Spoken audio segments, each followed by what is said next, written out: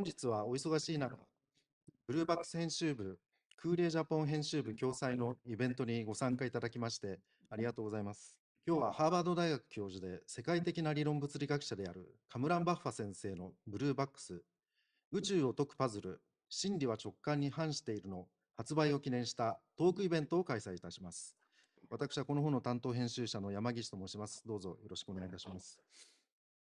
この本は私たちの住む宇宙はいかに人間の直感に反しているか、そんな宇宙の謎を解くためにパズルがいかに役に立つかを実際にたくさんの意外性に富んだパズルを解きながら理解していくというユニークな一冊で、バッファ先生がハーバード大学の1年生向けの講義で使われているテキストが元になっています。えー、今日はこの本の中からいくつかの問題をご紹介いただきながら、なぜ宇宙の謎がパズルで解けるのかを中心にお話しいただきますので、楽しみにお聞きください。えー、前半の45分から50分ほどは、バッファ先生にお話しいただきます。えー、そしてその後、この本の解約者の大栗博先生と30分ほど対談をしていただきます。えー、その時間になりましたら、あの皆様にえチャットボックスを使って質問をしていただけますので、どしどしご記入ください。えまた、今日のイベントは同時通訳で開催いたします。Zoom の下の方のメニューに通訳というボタンがありますので、日本語、英語のお好きなチャンネルをお選びください。えそれではまず、この本の解約を務めいただき、今日は、えバッハ先生との対談も後半でお願いしております。大栗博先生をご紹介させていただきます。えー、大栗先生はブルーバックスから大栗先生の超弦理論入門を刊行されているほか、まあ、多数のご著書があります。えー、カリフォルニア工科大学カブリ教授でいらっしゃり、また東京大学カブリ数物連携宇宙研究機構の機構長をお務めになり、さらにアスペン物理学センターの理事長もお務めになっています。宇宙の謎を解明する究極の理論と目されている超弦理論などの研究を行いながら、こうした複数の国際的な研究機関のトップを務められ、研究者たちが国籍や分野を超えて刺激し合う場を作られています。バッファ先生とは長年深いご親交があり、今回の出版も大栗先生にバッファ先生の現状をご紹介いただいて実現したものです。すみません、冒頭のご挨拶が長くなってしまいましたが、えー、バッファ先生のご紹介はこれから大栗先生にお譲りすることにいたしまして、その後、第一部の講演に移らせていただきたいと思います。では、ここからは大栗先生、よろしくお願いいたします。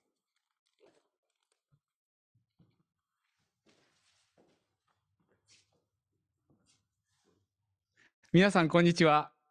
東京大学カブリ数物連携宇宙研究機構の機構長をしております。大栗博です。今日はあの講談社の図書室から配信しております。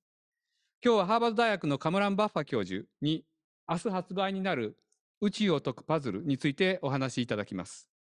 この本は新型コロナウイルス感染症の第一波の最中の2020年の6月にアメリカで出版された Puzzle to Unravel the Universe の和訳です。私もコロナを避けて巣ごもりをしている時に手元に届いたのでパズルあのすぐに読み出してパズルの面白さに夢中になりましたそれでこの本はぜひ日本の皆さんに読んでいただきたいと思って先ほど登場した山岸さんにあの私のあの大栗先生の超弦理論入門でもお世話になった山岸さんにご連絡して翻訳の出版を提案したというわけです。でカムラン・バッファさんはハーバード大学のホリス数学哲学教授自然哲学教授です。でこの教授職っていうのはあのアメリカの独立戦争を半世紀も遡る1727年に設立されたもので3世紀にわたって著名な数学者や物理学者が歴任してきました。ハーバード大学では1721年設立のホリス神学教授に続く2番目に古い教授職で自然科学では全米で最後最古の一番古い教授職だそうです。でバッファさんはミクロな素粒子の世界を記述する量子力学とマクロな物理重力現象を記述する一般相対性理論を統合する究極の統一の理論の候補である超弦理論の研究者です。イランで生まれ育ち、イラン革命の前年に渡米してマサチューセッツ工科大学に留学され、その後に進学したプリンストン大学の大学院では、数理物理学の大家であるエドワード・ウィッテン先生の薫陶を受けました。バッファさんは超弦理論の分野でリーダーで、基礎基礎物理学ブレイクスルー賞、ディラック賞、ハイネマン賞など、数々の大きな賞を受賞され、全米科学アカデミーの会員でもあります。私とは30年来の友人で、あの、全部で28本論文を書いています。この本はバッファさんがハーバード大学の1年生を対象に、10年前、2012年から毎年開講してきた物理学、数学、パズルと呼ばれる講座に基づいています。ですからこれは単なるパズル本というのではなくて、パズルを通して物理学や数学の考え方を学ぼうというものです。バッファさんは理論物理学者の仕事は難解な問題を簡単なパズルに分解して解くことだとおっしゃっています。で今日はまずバッファさんにお話をいただいて、その後30分ほど私とあの対談をします。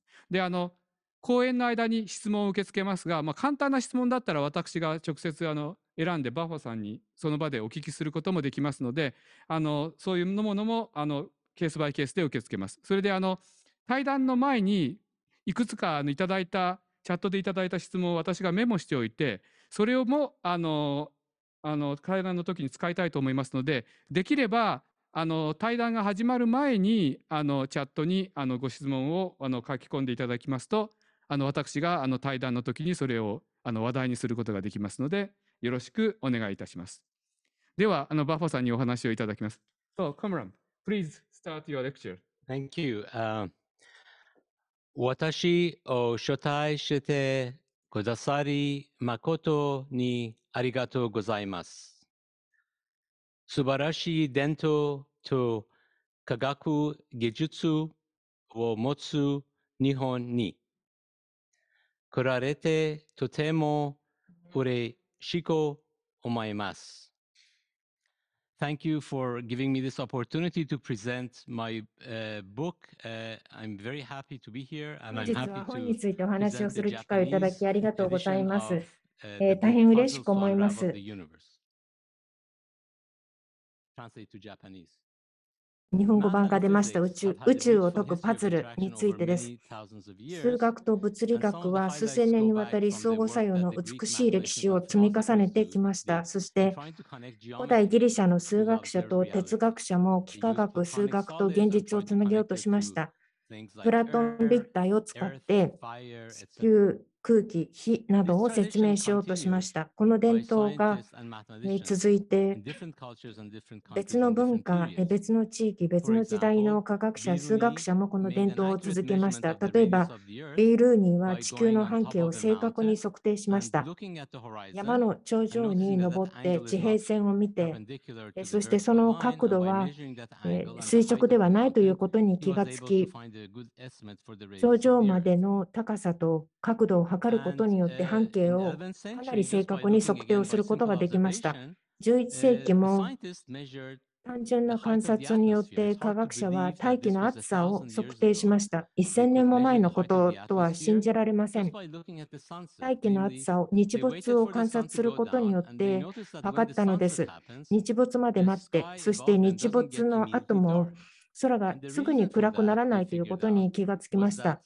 その理由は太陽が目に見えなくても大気の高い層にえまだえ太陽の光が届いているので、空が完全に暗くなるまで数時間かかる。えその真っ暗になった時には太陽の光が大気層の高い部分にも到達到達をしていないということに気がつき、日没時から真っ暗になるまでの時間を測ることによって大気の厚さを測定しました。私の研究分野は紐理論です。紐理論の目的は、基本的な力、そして粒子を一つの枠組みに統合することです。一番小さな規模で、原子の1兆分の1のさらに1兆分の1という小さな規模から宇宙の大きさに至るまで、えー物理を記述することが紐理論の目的です。そして、伸びた物体、紐のような物体であるのが素粒子です。そして、量子論と重力との間の矛盾を解決しようとするのが紐理論です。2つの紐が結合されて1つの紐になる。あるいは1つの紐が分割されて2つの紐になるということを繰り返します。非常に数学的で抽象的な概念をたくさん含んでいる分野です。例えば空間というのは3次元と時間と思いがちですけれども、3次元だけではない、9の次元がある。えつまり考えている、普段考えているよりも6つも次元が大きいとされています。そして、この6つの次元についてはとても小さいとされています。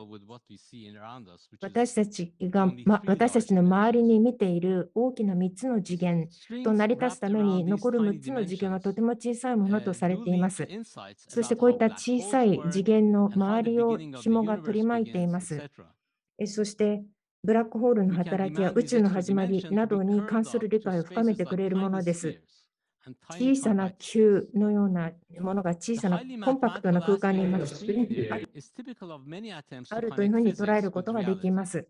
えそしてこの紐理論、えーとえー物理をつなげることによって現実を理解しようとしているのですが、単純なアイデアで物理学と数学をつなげることができるのか、そういうことを考えて2012年からハーバードの新入生向けに講座を行ってきました。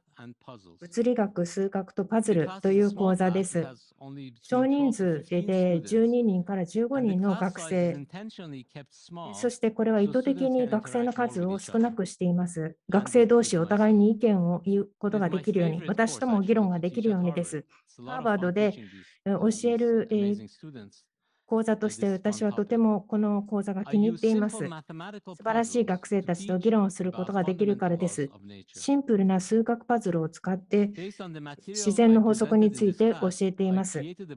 この講座で使った教材に基づいて、えパズルとその解を含んだこの本を書きました。若い人向けの本です。現代の科学を楽しみながら学びたいという若い人向けです。パ Puzzles to Unravel the Universe、宇宙を解くパズルという題名の本です。これが表紙、そして裏表紙、英語版の本の表紙と裏表紙です。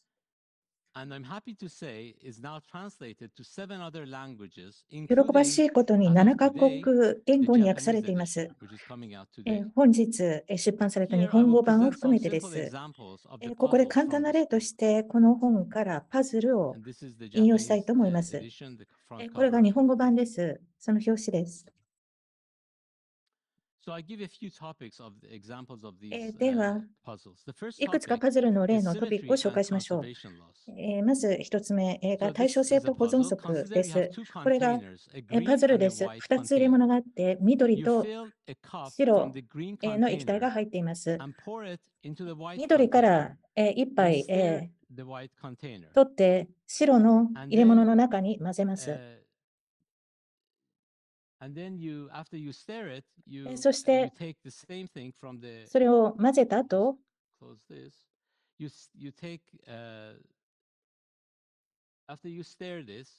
この緑の液体を混ぜたえー白えーの入れ物を混ぜて、えーそしてまた一杯、えーグラス一杯分取って、今度は緑に混ぜます。えーそしてまた再び攪拌します、混ぜます。And then, after you do this, the question そして、その後、um, continue here. Which container has more mixture of the other one? So the question is, does the green container does the green container have more white in it? 液体の方が片方の green in it? How many of you think the green container has more white in it? 含んでいるか、えー、ではえー緑のこちらの液体の方が、えー白あのの Q&A のところにあの質問が出て液体ると思いますえーが混ぜ込まれている分が大きいと押してみてください思われ。ますか？And how many of you think that the white container has more green 皆さんの?中で、えー白いこちらの右側の入れ物の方が、緑の液体を多く含んでいると思うでしょうか？あるいは.両方とも、えーそれぞれ同じ濃度だと.思いますか？どちらの入れ物に違う色がたくさん入っているでしょうか？まず最初の選択肢が緑です。2つ目が白の入れ物の方がえ緑の濃度が高い。えそして3つ目が両方とも等しい濃度である。答えてくださっていますね。大半の皆さん、皆さんの69%は、えー、白の方がより緑を含んでいると、ほとんどの人たちはそう考えます。理由は簡単です。え純粋な緑を白に混ぜました。えでも今度、えそれを混ぜたものをえ緑に返すということは、その中にはすでに緑が含まれているということで、通称は白の方が多いんじゃないかと思うんですけれども、答えは実は同じです。えー、緑の中に同じ量の白、白の中に緑。えー、なぜかというと対称性があるからです。まず最初ですけれども、この液体のペンキの高さは同じです。えそして最終的にも同じ高さになります。え1回取ったらまた同じ量を戻すからです。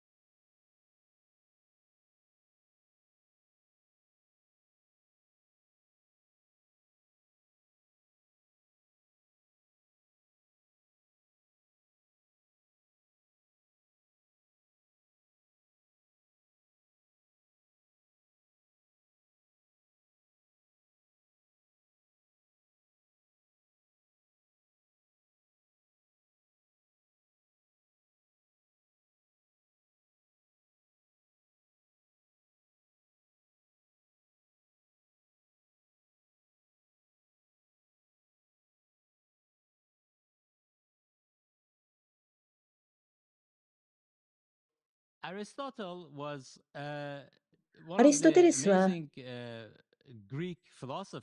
えー、ギリシャの素晴らしい哲学者の一人でした。重いものほど早く落ちると考えました。直感的には重いものの方が早く落ちるだろうと思うものです。ただし、ガリレオはそう信じませんでした。彼が言ったの？は、すべての物体は同じ速度で落ちると、そして実験をして確認をしました。軽いものも重いものも同じ速度で落ちる。空気の抵抗さえ除けばです。大きな石であったとしても、小さな小石であったとしても、同じ速度で落ちると考えたんです。科学者はこの実験が気に入らず、なぜ同じ速度なのだと考えて、そして対称性の議論を展開しました。3つのレンガがあったとしましょう。同じ形状、同じ重さで、同じ場所から下に落とします。同じ場所から落としますと、同じ速度で落ちます。驚きはありません。水平にシフトしたとしても、その速度は変わらないからです。では、えー、片方をよりもう一方に近づけましょう。同じままです。したがって、水平に、えー、こういうふうに位置を変えたとしても変わりません。高さは変わらないからです。えー、では、もっとレンガを近づけましょう。何か変わるでしょうか？変わるはずはありません。例えば、非常にこのレンガ同士を近づけて、お互い接触をする形にする。そして、落とすと同じでしょうか？同じ速度で落ちます。ということは、2つのレンガは同じ重さなんですけれども、同じ速度で落ちるということです。対称性の理論です。もう一つお話ししたいのが、自発的な対称性の破れであります。対称性が破れるというのはさらに面白いんです。皆さんにパズルを解くのを手伝っていただきます。都市が4つあります。A、B、C、D です。そして正方形のそれぞれの頂点に位置する4都市だとしましょう。高速道路を設計したいんですが、4つの都市を結ぶような高速道路とします。そしてこの高速道路はできるだけ短距離で建設をしたい。高速道路を建設するにはお金がかかるからです。えでは、どのような高速道路のルートを設計すればいいんでしょうか。えある都市からもう一つの都市に移動するんですけれども、一番距離が短いのはどれでしょうか？これが答えだと思う人。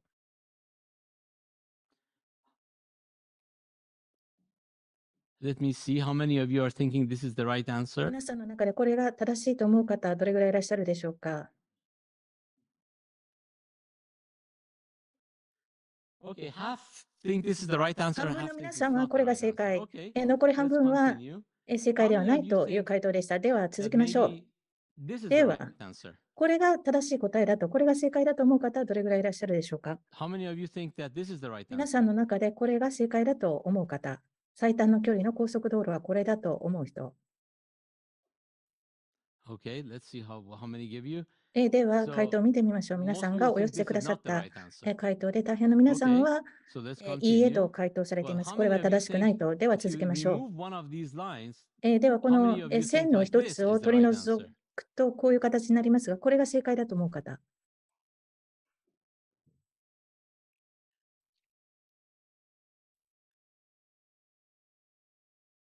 Okay, let's see how what we say. どうでしょうか？皆さんの回答を見ますと、大半の皆さんは不正解と答えています。皆さん、非常に頭が良くていらっしゃって、おっしゃる通りです。これは正しくありません。別に、どの辺が空いていたとしても変わらないんですが、実際の答えはこちらです。ベストな高速道路のルートの設計は、このように奇妙な形となっています。これが最短距離です。2つの道路が120度で交差するというところです。それぞれ120度となっていて、等しい角が両側に見られるということです。これが最短距離の高速道路のルートです。なぜこれが面白いかと言いますと、対称性を破っているからです。A と B はえ隣同士で、正方形の頂点です。C と D も同じです。隣り合っていて、正方形の頂点です。でも、高速、道路は A から B に行くよりも A から C に行く方が早いんです。高速道路で対称性が破れました。このような高速道路を建設することで対称性が破れるのです。これは物理学では非常に重要な現象です。これで物理学のさまざまな興味深い現象が説明されます。例えばその例なんですけれども、すでにギリシャの哲学者は気づいていました。すでに理解していたんです。地球は丸いと。えそして、えー、宇宙の真ん中に地球があると考えたんです。そして地球は動いていないと気づきました。なぜ地球は動かないのか、月を見て、太陽を見て、月と太陽は動いているの。になぜ地球は動かないのかと思ったんです。そして、地球が宇宙の真ん中にあるとしたら、そして動くとしたら、動くことで対称性が破れると、どこか方向性を選んで動く。からです。したがって方向性、動く方向性を選ぶことで対称性が破れる。対称性を破ることはできない。したがって地球は動かないのだというふうに説明をしたのです。アリストテレスはそれは議論として正しくないと言いました。アリストテレスは円の中心にある人がいたとしたらどうするかと考えました。そしてその人を取り囲んで円を描くようにパンが並んでいる。そしてそのパンの円の真ん中に人を置くのですが、この人はずっと真ん中に居続けるでしょうか？それとも一つのパンに近づいて対称性を破るでしょうか？一つのパンを選ぶでしょういずれお腹が空くからです。そしてこの人はパンの近くに行ってパンを取ることによって対称性を破ります。対称性を破ることが好ましい場合があるという主張をアリストテレスはしました。対称性を破るということは私たちの体にも見られています。皆さんの目は正面についています。頭の周り全部についているわけではありません。360度回転している対称性のある地球に暮らしていますけれども、進化によって目は対称性はなく正面だけについています。なぜでしょうか？進化によって対称性が破れたのです。人間の体の対称性が破れています。なぜそうなったのか？人間は食べ物を探さなければならないからです。アリストテレスの例と同じように、円の中心に行って食べ物を探したいという時には、食べ物を探して、そしてその見つけた食べ物に近づいていく、そのためには目が正面についていることが重要です。その方向に進んでいくからです。木とは違いますね。木木木は動かない。そして360度、木はもっと対称性がありますが、人間の体は対称性はあまりありません。そして目は正面についている。正面に動くからです。これも対称性の破れです。自発的対称性の破れは物理学で様々なところで応用されています。ヒッグス・ボソンという粒子は質量の起源、すべてのものの質量の起源とされていますが、この場は丘の上にいたいけれども安定していないので、このボールは丘から降り落ちてきてしまって低いところに行ってしまう、えそしてエネルギーが低いところに行ってしまう。それによって粒子には質量が生まれます。起源の真ん中のところは、より質量が少ないのですが、対称性が破れて下に転がっていくことによって質量が生まれます。数学の数学の単純なアイデアは非常にパワフルだということを例を挙げてお話ししたいと思います。地球と赤道を考えてみてください。白い円、ここが赤道です。ベルト、赤道のところで地球に巻いたと考えてみてください。そしてそのベルトをほどいたと考えてみてください。そのベルトをさらに1メートル長くします。この緑の部分は1メートル。それをまた地球に巻きつけます。赤道のところで巻きつけます。少し赤道よりは余裕ができることになりますが、ここでの質問は、赤道よりどのくらい浮いているでしょうかこの幅 X はどのくらいでしょうか ?X は1ミリより大きい、1ミリ未満、1ミリ以上、どちらだと思いますか？まず最初の選択肢は1ミリ未満、1ミリ以上、どちらか。The first one is this. Okay, こ so れが最初の質問ということですね。回答を見てみましょう majority of you, 65% of you think it's less than a millimeter. 65%の皆さんが1ミリ未満と回答しています。直感的にそう思うと思います。大多数の人が直感的にそう思うでしょう。1ミリ未満と思うでしょう。ですが、実は1ミリよりも大きいのです。単純な数学でそれはわかります。やってみましょう。円習は 2πr。そしてプラス1メー So トル。 that's 2 pi r plus 1. で That's す the ので length of the new 2πr belt プ with ラス 1 meter 1。これ added. がベルトの And 新 that しい should 長 be さ、 2 1メートル pi を足した times 長 the さで new す。 radius, which is これ r は plus 2π x. えーと新し So い if you cancel 半径の 2pi 長 r さ from the both r sides プラ of ス this x という equation, ことになり you ま get す。 2そし pi て x is 1, えー which 両 gives 方 you が x 相 is 1殺さ over れ 2ると pi. 1は which is about 2πx、 16そして centimeters. x は So えー indeed 2 it's パイ bigger 分の than a 1、 millimeter. えーこれはえーだいたい16 However, センチ This と is いう not こ the とにな only り thing ま you す。 can do. You see, それだけではあり you ませ can ん。 このベルトを片方寄せることができます。非対称になりますが、えー、片方は緩みがあって、片方はぴったりくっついているように引っ張ることができる。ベルトを引っ張って、片側地球にくっついているけれども、えー、もう一個では浮いている状態にすると X は大きくなりますが、100メートルよりも X が大きくなると考える方、100メートル未満、100メートル以上、どうでしょう？質問を出していただけますか？100m 未満、100m 以上、どちらでしょうか？ベルトの端を引っ張ったときにどうなるでしょう？回答はどうでしょう？大多数の皆さん、71%は100メートル未満。と答えています。百メートル未満という回答ですね。実際は意外なことに100メートルよりも大きいんです。121メートルです。これも意外です。そのためにはもう少し数学、複雑な数学になりますが、本の中に説明しています。単純な数学で正しく導き出されることもありますし、もう少し高度な数学が答えを出すには必要なこともあります。この場合には微積分が必要になります。次に連続性の力について、それから相対性について取り上げたいと思いますが、相対性とは何でしょうか？相対性というのは一見異なる形であっても同一である可能性があるということです。で通常、これは視点の変化を伴います。美しいエッシャーの絵がそれをよく表しています。この絵を見て、これは何ですかと聞かれたらどうでしょうか左上の方を見ると、これは昼間の様子で空、左側に向かって黒い鳥が飛んでいると飛んでいると思うでしょう。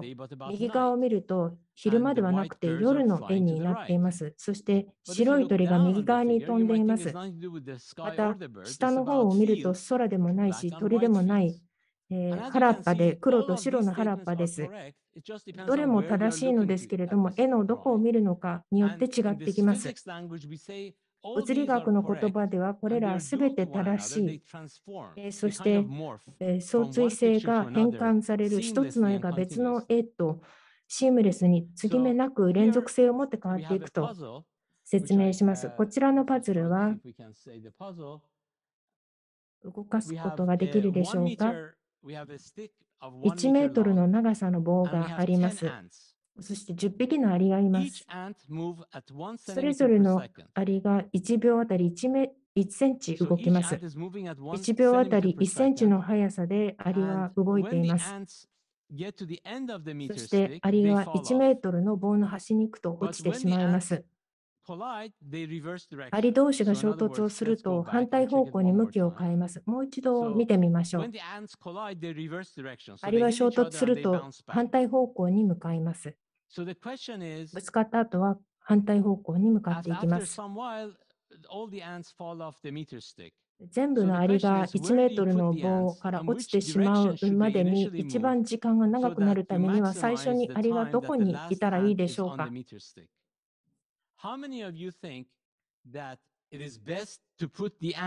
一番いいのはどこだだと思いますか？中心に近いところにアリ全部がいて、それぞれが反対方向に向かった方がいい。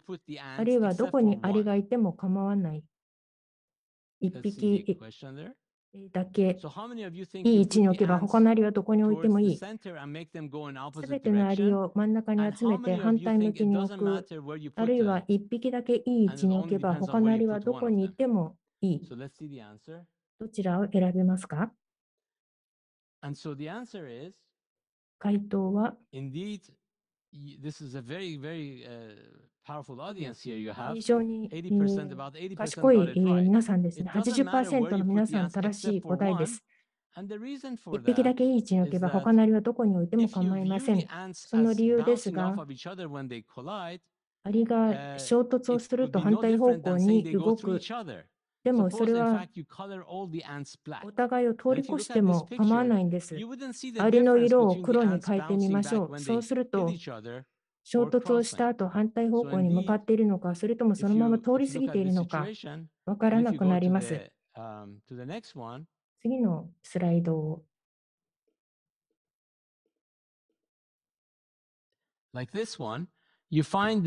どちら、例えば、こちらのように、アリが衝突をしているはずですけれども、実は通り過ぎているようにも見えます。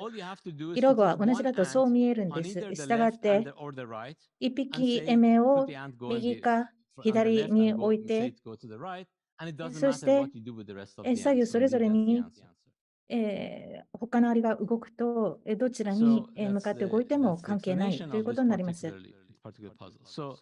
このパズルの説明は以上です。では次お願いできますか？これが最後のパズルです。皆さんの質問の前の最後のパズルで、これは科学的な方法論の振り返りです。私の好きなパズルです。科学者がどう考えるかということを示しています。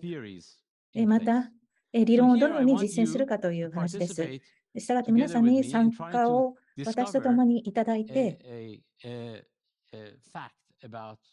事実えを見つけていただきたい。円とそれから点を使います。この3つの段階を科学では必ず減るんです。まず、え実験を通して実例を見出していきます。そしてその実例に基づいてえ原則や法則を考えます。一般原理の公式化です。そして3つ目、なぜそのように働くのか論拠を見つけます。では始めましょう。円があるとします。そしてえそこに2つの点を置きます。演習上に2つの点を置いて、えそしてその両者をつなぎます。えこの円はいくつに分割されますか？えこのように2つの点と点を結ぶことによって、円が2つの領域に分かれます。え2つの点で2つの領域です。ではもう1点演習上に置いて、えそして、えそれを再び他の2点とつなぎましょう。そうすると、いくつに分割されますか ?4 つです。円は4つの領域に分割されました。え3点、点を3つ置くことによって4つに分割できる。ではもう1点加えましょう。4点です。そしてその4点それぞれを結ぶと、円はいくつに分割されますか？数えてみると、8つです。2点だと2分割、3点だと4分割、4点だと8分割、パターンは見えてきたでしょうか？ではもう一つやりましょう。5点目を加えて、そしてそれぞれ線で結ぶと、円はいくつに分割されるでしょうか？全くその通りです。16です。4つの点で10え8、そして5つで16です。2点で2つ、3点で4つ、えー、4点で、えー、8、そして5点で16です。えー、点を1つ超えるごとに分割される領域の数が倍増されてきます。では、6つ目の点を加えましょう。どうなるでしょうか？もう1点、6点目を加えて、そして線を引いていきます。皆さんの中で、えー、答えが32だと思う人はどれぐらいいますか ?32 じゃないと思う人はどれぐらいいらっしゃるでしょうか？では、こちらが質問です。答えが32だと思う人、どれぐらいいるでしょうか ?32 でないと思う方、どれぐらいいるでしょうか？よろしいですか？では、皆さんの回答ぶりを見せていただきましょう。はい。皆さんの大半、70%の人たちは32だと回答しました。私たちがやっていることを倍数倍数で見ていくと32になるので視線です。でも、回答は32ではありません。答えは31です。計算間違いではありません。皆さん数えてみてください。驚くべきことです。えー、したがって、6つの点で31に分割される。何が起きたんでしょうか？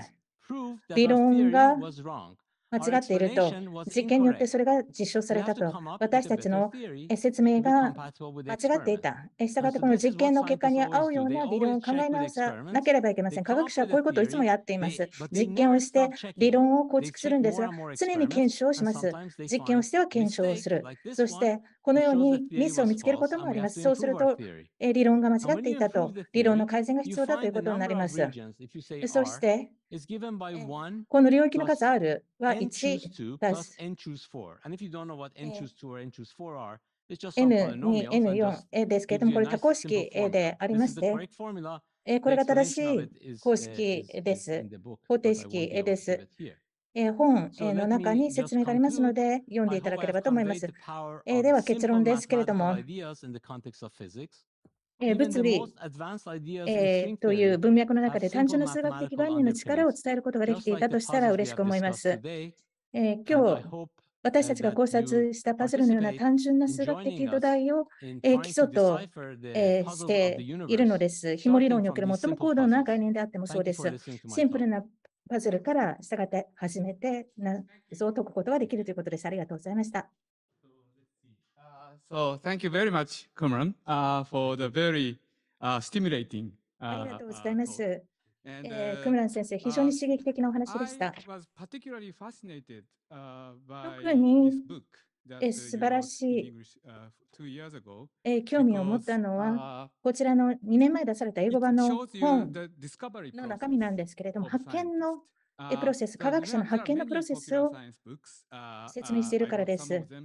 えーもちろん大衆向けのえー科学の本はたくさんあって、私もたくさん読みましたけれども、えー通常は科学的探求のその結果について説明しているものが多いんです。例えば、現代物理学えーの結果というのは、とても高度で使っている数学、えーそれから実験も複雑です。したがって、これが事実だと言われると、読者はそれを受け入れざるを得ない。でも先生のご本は全く違います。えーか科学者がどのように発見をするかということを説明してくれているからです。したがって、まず最初に伺いたいのは、ハーバードで10年前にえーこの講座を始められたということですけれども、何が動機だったんでしょうか？どういう経緯だったんでしょうか？ありがとうございます。えーこのクラスを持とうと思った、えー動機は、えー妻の提案です。えー1年生向けに自分が好きなことを教えてはどうかと言われました。物理学を教えるに、えーあたって物理学そのものというよりは物理学、えーを取り巻く数学などの、えー単純な概念に、えー関して説明してはどうかと言われました。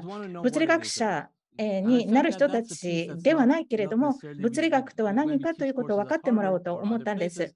ハーバード他でえー教えるときにはもう本格的に教えるか、もう何も教えないか、その入門編への言うようなものは優しく教えたりしないことが多いです。ほほとんどの場合一般市民というのは、知識。えー科学、えーそして科学者がやっていることは知識の蓄積だと思っている。部分的にはそうです。例えば、科学的なその知識の集積というのは、切手の収集だけではなくて、科学的な方法論の方が実はずっと価値が高いと、知識を集めること以上に大事なんです。いろんなことを知っていること以上に、その方法論の方が大事なんです。したがって、それを一般市民に伝えたかった。ブラックホールがありますよ。宇宙がこうなっていますよと。これは一般の人たちにはストーリーに過ぎません。科学者がどういうふうに進めているかという方法論を教えてくれない。したがって、えーパズルを使うことで物理原則えーを考えてもらおうと、えー科学でやってるのと同じようなプロセスで考えてもらって、えー基本的なその法則えーの一部を理解してもらうと全部ではないです。イデオロギーとして、まあ、考え方として科学者がどう考えているかを理解していただきたかったんです。もう一つ、パズルというのはシンプルだと、単純だと思うかもしれません。科学者というのは当然ものすごく難しいパズル。えこんなことよりずっと複雑で高度なことをやってると思われがちですけれども、え実は、えーその奥まで、えー突っ込むとパズルに似てるんです。複雑なものの裏に単純なパズルがあるのと同じです。シンプルな概念を、えー使うえーのと同じです。パズルではシンプルなその考え方を使って解くのと実は科学は同じなんです。この本を読んだときに印象的だったのは、このプロセス、えーパズル、えーを形式化して、それを解くことえーが私の研究者としての日常を正確に説明していると気がつきました。申し上げましたように、えー先生と28本の論文でいろいろと協力をさせていただいて教えていただきました。いつも先生に感銘を受けるのは、研究を始める際には曖昧な考えから始めています。そして何かを理解したいと思って曖昧なパズルから始めます。したがってなぜこんな鋭い質問から始められるのか、鋭い質問。を先生はいつも提起されて、えーそして鋭い答えを求めるような質問です。それがえー知識の中核となって、えーそこから広がるということで、そのプロセスが非常に謎めいているわけです。私もそれに習おうと、えー先生を真似ているんですけれども、うまくいきません。いや、先生はちょっと謙虚すぎるんでしょう。えー共同研究させていただいて、本当に貴重なえー研究を行うことが先生とできています。えー全く正しいことをしてきしてくださったと思います。えー問題の、えーその質問の本質えーに至ることが鍵です。えー問題解決えーで例えば宇宙の膨張とか星とかいろいろあると銀河があると、えーでもシンプルな考えで物質があってほとんど均質で、えーそのように単純化して考えると一体えー問題の本質は何かと膨張しているとなぜ膨張しているんだと従って、えーあまりに詳細にこだわりすぎず、えーパズルのように本質えーを捉えるということが大事です。科学者はなぜえー宇宙えーが包括的なのかわからないと言っていますが、必ずしもそうではない。なぜか深い理由は分かっていませんけれども、えー最終的にシンプルなパズルのように、えー本質的なところに絞り込むのです。えー人を人間が宇宙の謎解きをする、解読をする、えーということを人間の進化ではまだ、えーその備えができていません。まあ、オーディエンスの皆さんのために、先生がおっしゃったパズルのいくつかに立ち返りましょうか。えー物理学、えー数学という文脈で見ていくことができればと思います。最初の先生のあの緑と白の液体のパズル気に入りました。なぜかというと、対称性と保存則を非常によく表しているからです。したがって、対称性、そして保存の法則の話をする際に、エミネーター、20世紀初頭の数学の対価ですけれども、彼女が発見したの？は、対称性があると保存則がある、保存則があると対称性があるということで、一対一の？関係がある、非常に抽象的な概念ですけれども、先生の？例は、この？考えの,その？本質をついている、オリジナルな uh. えー in ータのえーネーターのその定理.えーを説明しています。でも、日常の例で説明できますよね。そうです。おっしゃったように、数学えーの詳細を説明せずに分かってもらうネーターのえー定理なんですけれども、非常にびっくりするところがあります。皆さん物理学者えーであるわけではない。エネルギーの保存の法則はえーご存知でしょう。エネルギーえーはある形から別の形にえー変換されて失われることはない。今日何かが起きて、明日同じことえーが起きる。明後日も同じことが起きる。何かをやっても関係ない。えーこれえーですけれども、えー時間のトランスレーションのえー保存ということなんですけれども、えーこの2つが関連しているというのは奇妙えーに聞こえるかもしれません。時間の対象性を将来あるいは過去に動かす。これはエネルギーの保存の法則と同じであると驚くべきことです。最も美しいテーマだと思います。高速道路のパズルも気に入りました。最短距離のルートは何か ?4 点を結ぶのには一番いい最短距離は何かこれも対象性の破れを説明するいい例です。自然の法則は実は単純なんです。がただ自然への、えー、その表現は複雑であることがあるということです。ここで有名な南部先生の言葉を引きたいと思います。自発的な対称性の破れを量子理論の中で、えー、話されました。それはノーベル賞、えー、受賞への理由となりました。自然のえ、法則は単純、え、だけれども、え、世界は退屈ではない、その組み合わせは素晴らしいと言ったんです。高速道路のルートの例は非常にいいと思います。これは分かりやすい。え、小学校の算数でも分かる。でも、実際に事実を実証している。え要件は非常にシンプルです。最短距離を探しましょうと。えでも、えその結果の解、え表現は複雑です。したがって、自然のえ法則え上の要件はシンプルだけれども、え例えば、えー興味深かったりする。ノーベル賞は興味深いものがあります。面白い例だったと思います。いくつかのえー問題は知られていたと思うんですけれども、つなげてお話しくださいました。えーそれらをつなげてハーバードのコースにしたんですか？その通りです。自発的な対称性の破れの例、それから高速道路の例ですけれども、物理学には美しい現象があって、対称性の破れをあ表している超電導もそうです。素素晴らしい現象ですね。低温の物質で抵抗性が全くなくなる。不可能に聞こえますけれども、現実のものです。真理真理です。これも自発的対称性破れによるものです。こういった現象で対称性が破れると、興味深いものが起こる、悪いものではなく素晴らしい、例えば超で超電導のような素晴らしいことが起こります。そういった考え方に基づいたパズルなんですが、アイデアとして、なぜこの講座を持つことになったのですが、子供の頃から私はパズルに触れていました。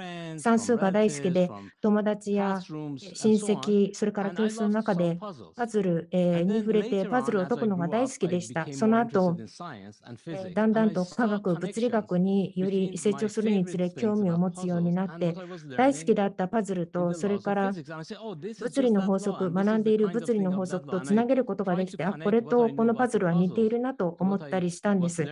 パズルで解いていたのと物理学で学んだことを関連づけることができて、物理で学んでいることはほとんどがシンプルなモデル、シンプルなパズルになるということに気がついたんです。本質に関心があるということをおっしゃいましたけれども、アイデアのか本質に関心があるわけです。複雑な詳しい数式には関心はありません。数式を使うのは十分に内容を理解し理解しているか確実にするためですけれども、物事の本質が重要です。パズルもそうです。残りの部分はあまり関係ありません。確信を理解をするということが重要。それを科学者は目指しています。えーそしてパズルによって本質を捉えようとしているんです。宇宙の謎を解こうとしている、宇宙のパズルを解こうとしている。えーで、このパズルというのは暗喩のように使われることがありますけれども、えーしかし実際のパズルを解くということと結びつけていらっしゃったんですね。視聴者の皆さんから、えー読者の皆さんからいくつかご質問いただいていまして、新しいアイデアをどのように生み出しているのか、アイデアを生むときに助けになるのは何ですか？えそれからパズルはどのように作るのでしょうかといった質問をいただいています。いい問題を作ることができれば、問題は半分解決できたとよく言います。ですから、曖昧な問題に取り組んで、シャープな答えを出さなければいけません。それはどうやってやっているんでしょうかという質問を読者の皆さんからいただいたと思います。私も知りたいと思います。質問どうもありがとうございます。科学を哲学的に捉えることが重要だと思います。例を挙げてお話ししたいと思います。私にとっては科学というのは芸術のようなものです。えそしてアーティストが芸術に携わる人々がの捉え方と私たち科学者としての自然への捉え方というのは似ていると思います。ある側面を見ているんですけれども、必ずしも証明可能ではないけれども、美的なもの、例えば美しいと思うもの、これはいい答えなのか、美しい答えなのかということをよく考えます。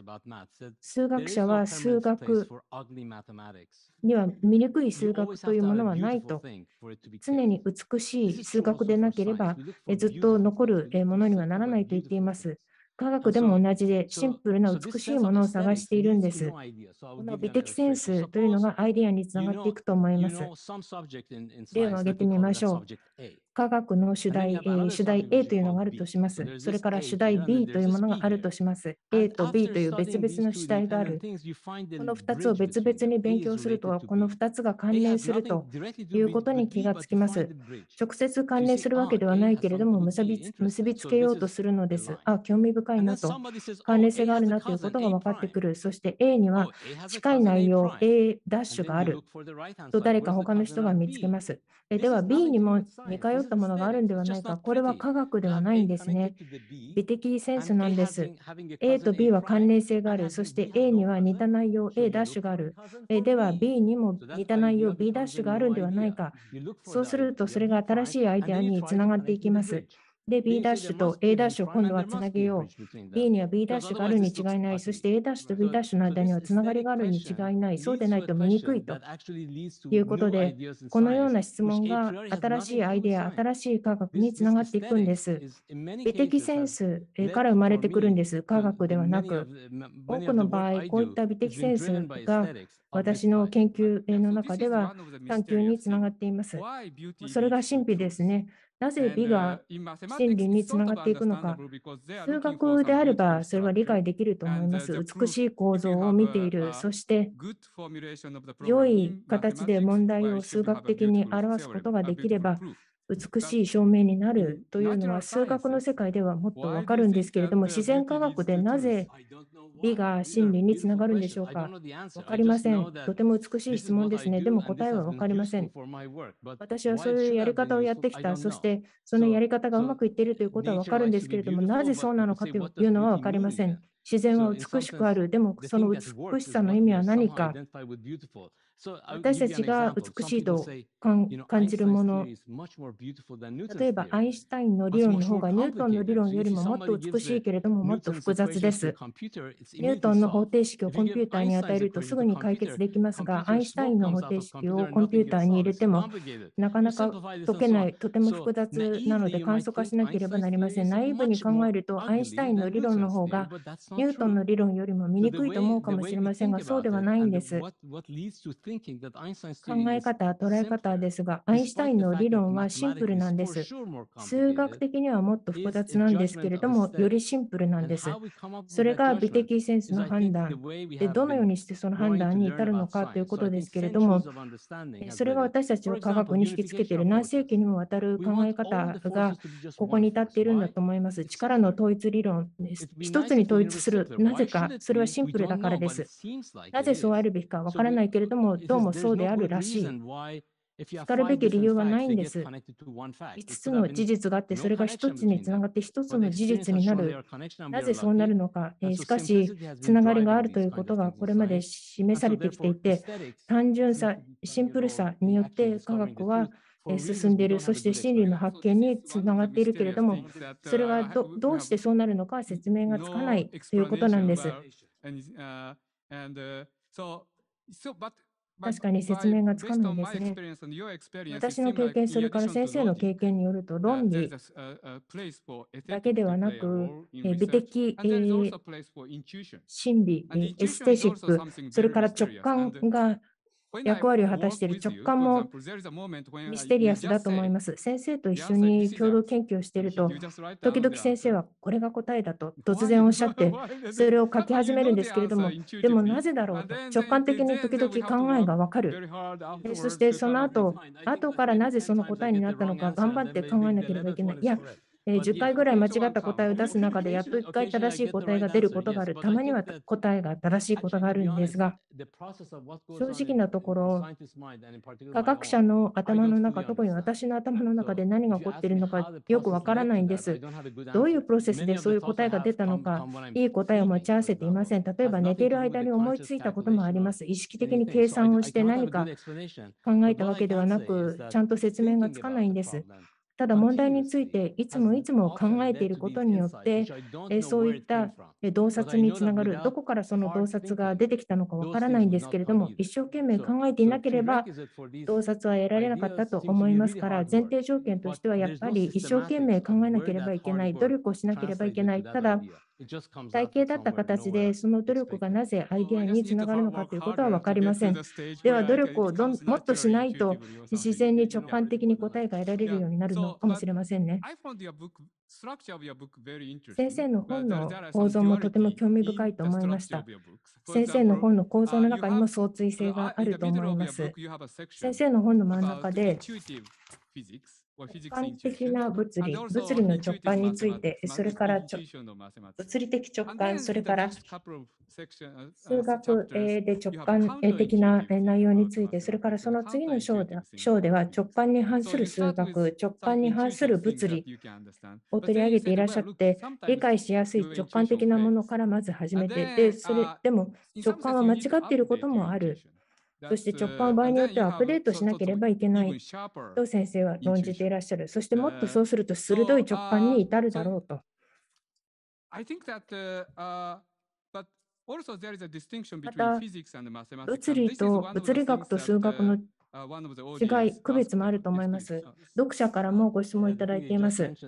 今おっしゃった内容で、A と反 A、直感、えー直感に反することというふうにおっしゃいましたけれども、物理学を学んできて私が思うのは、真理はただ一つではないということです。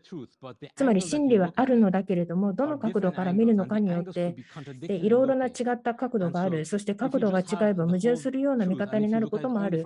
真理全体があるんですけれども、一つの視点から見ていると、真理を見落としてしまうのです。真理を見ていても。というのは別の角度もあって、反対側から見ているものもあると、全く違った答えが出てくることがあるのです。ですから、一つのものという捉え方というのは正しくないと思います。えーいろいろな部分を理解して、それを寄せ集めていく、えー場合によっては寄せ集めていっても矛盾したり対立することがあるけれども対立する緊張関係が豊かさにつながっていくんだと思います。その緊張感を解こうとすることによって、より高いレレベルの理解に至るということですね。美しい音楽にはえ緊張感があると、より良いものになるということえーです。科学えーではカウンターポイントがある。同じように見えるんですけれども、えー美しいえー形でお互い整合性を持つと、えーさらに強化されるということがあります。私たちの研究では、して私たちが分かったと思うことがあります。えー直感的に構築をします。そして分かるんです。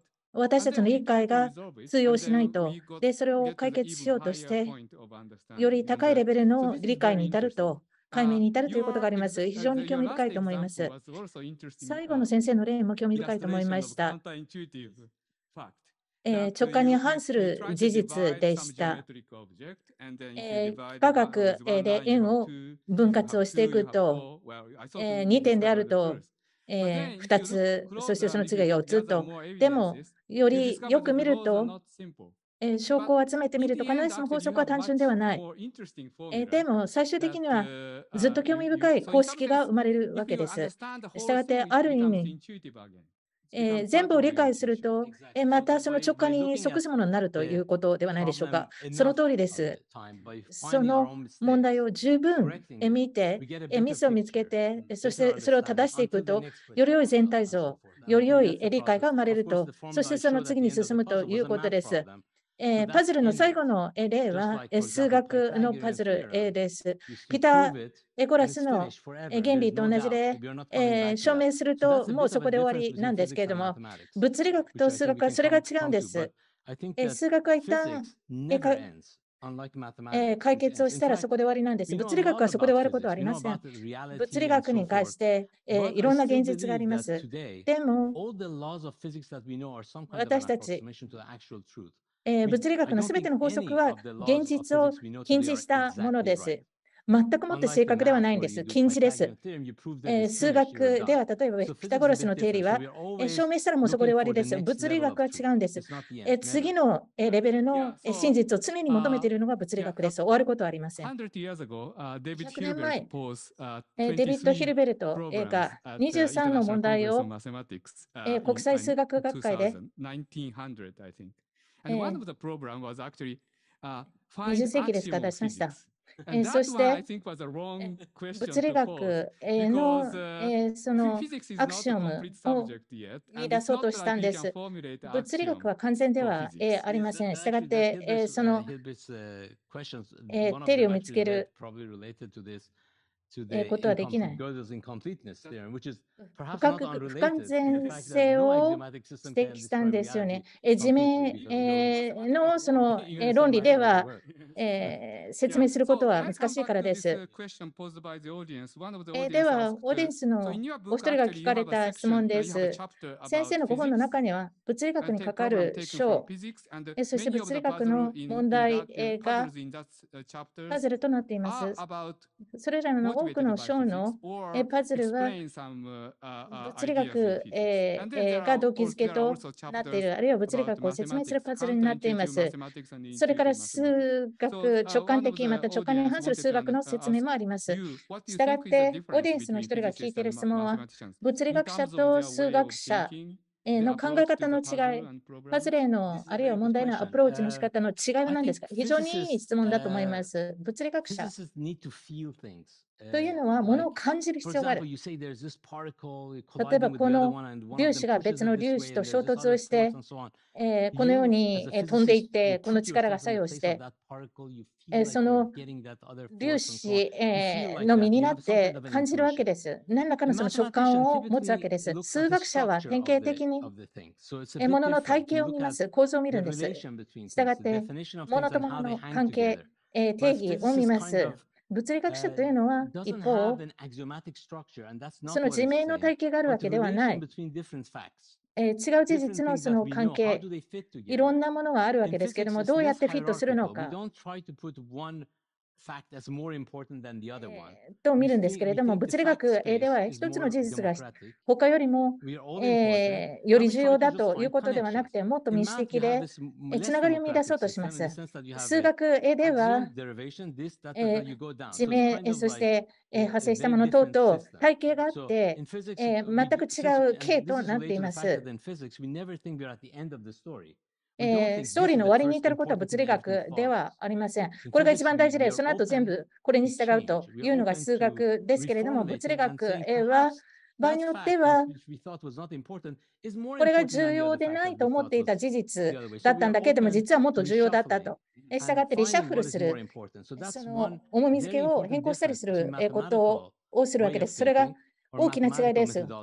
えー数学的なえー考え方、それから数学的な方法論と科学者の方法論考ええーとは違うと、えー自明の理論というのは次の事実を見つける上で必ずしもえー役に立つとは限りません。したがって物理ではあまり使わないということです。冗談で。あ論理的に物理学者は考えられないんだねなんて言われるんです。えー論理的に考えることはできる、体系立つことはできるけれども、それが必ずしも役に立つとは限らないです。したがって、ものをバラバラにして順序を変えたり、えー再編したりするわけです。それは非常に考え方として面白いと思います。物理学と数学の違いを聞かれると私は往々にして私たちが対象としている研究の対象の違いということを言います。えー数学者が対象としているもの、物理学者が対象としているものは違います。物理学者はえー自然のえー現象えーをえー説明するけれども、数学者はえープラトンえー的なえー世界を説明する。えーでも先生はそのアプローチの違い、えー考え方の違いえーがあるという説明をされました。非常に興味深いと思います。えーそれも先生のここの中に書かれていると思います。非常に面白いです。数学者と物理学者の話をしました。そしてもう一つの質問がオーディエンスから上がっています。なぜえー物理学者になろうと思ったんですか？えー理論、物理学者に特になろうと思った理由は何ですか先ほどのえー議論と結びつけると、なぜ数学者を選ばなかったか、先生は数学的な考えができて数学者になれたのになぜ数学者ではなく物理学者を選ばれたのか？いや、別に数学者、物理学者、えいずれにもなろうと思っていませんでした。MIT えーでえー経済学を専攻するか工学をやろうかと思っていました。えでも物理学と数学を勉強すればするほど物理学とえー数学に対する愛が深まってそれが強いものだと思ったんです。そして数学、物理学、えーにエキサイトしたわけです。じゃあ、なぜ片方を選んだか。私、大学院の時にはですね、物理学えーよりも数学の方が学びやすかった。えー教科書を開くと何がえー前提で条件で解を見つけると非常にクリーンです。とっても綺麗なんです。エレガントなんです、数学っていうのは。物理学は他方、必ずしも論理的な段階を経ていくわけではありません、概念上。でもその間の、えー現実があって、そのつながりの美しさがあります。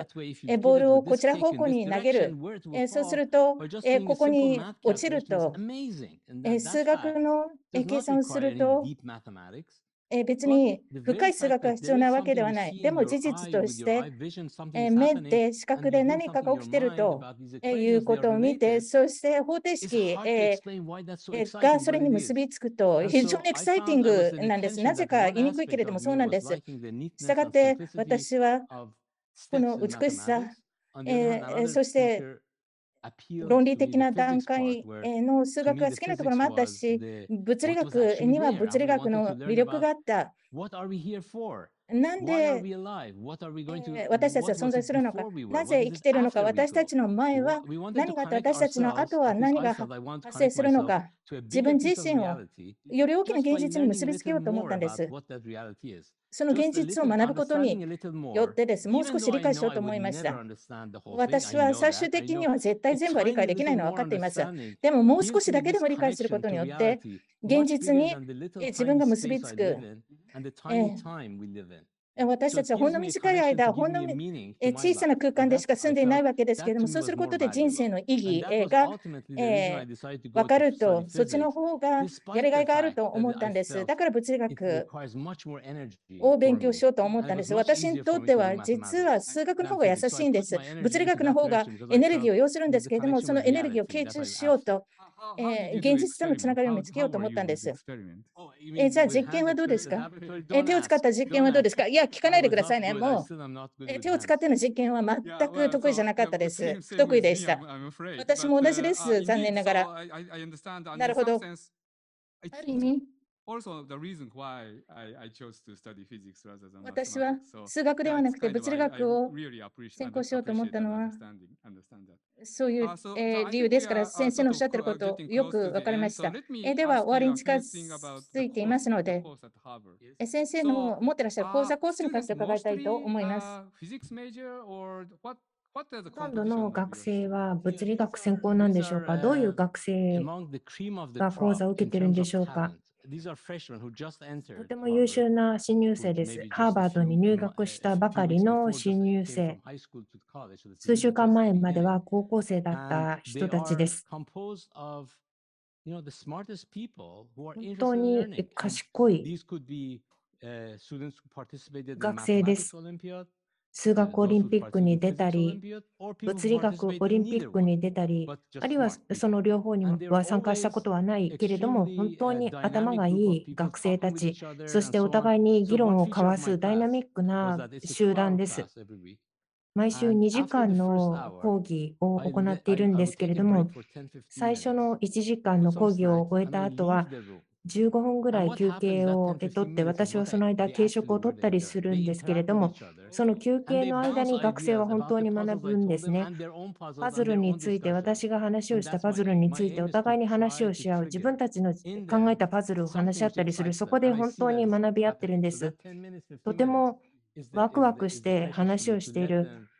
休憩10分間で学生がお互いに話をし合って学び合っています。